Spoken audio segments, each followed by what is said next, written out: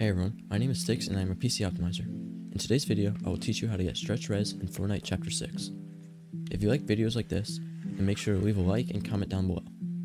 If you want to use other free products, then make sure to head over to Google and then search up discord.gg forward slash Stix, just like this. Then once you're in our server, you can head over to the programs channel and see all other products that we have for free. Now let's get into this tutorial. Go back to Google and search up custom resolution utility, just like this.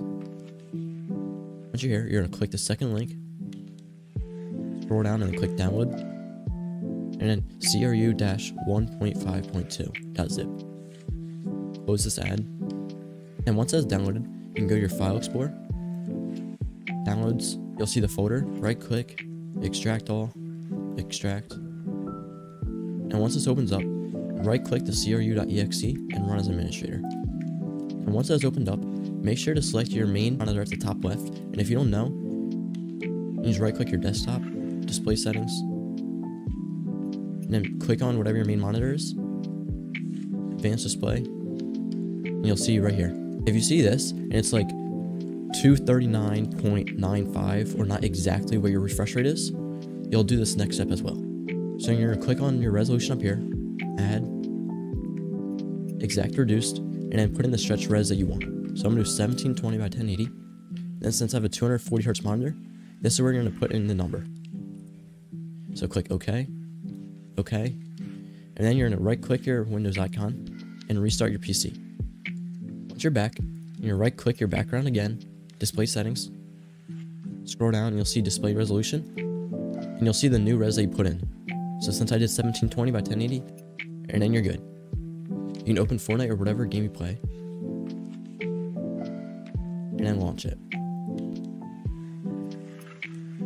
And once you're in, you can go to full screen mode just by going to your settings, and then you play full screen. And if everything looks good, then that's the end of this video for you. But if you have black bars on your side of your screens, just minimize Fortnite, right click your desktop. If you have an AMD or Radeon GPU, follow this.